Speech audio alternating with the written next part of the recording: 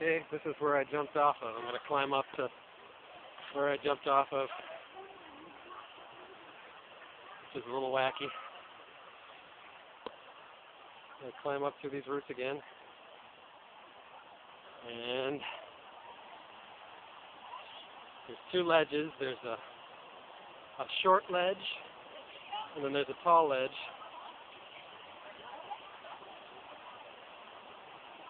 And people are going off of all, both of them.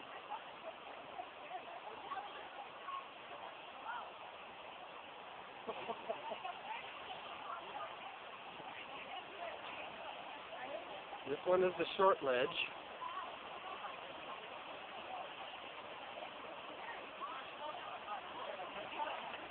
And that one is the tall ledge.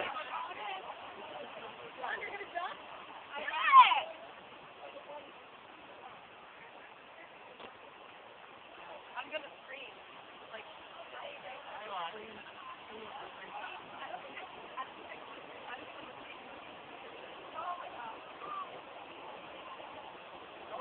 Uh, it's okay. I just want to get a view from where I where I fell.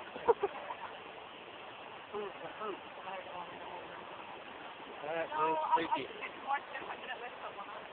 The hard part isn't diving in. The hard part is overcoming that survival instinct that says, why throw yourself off of a perfectly good cliff?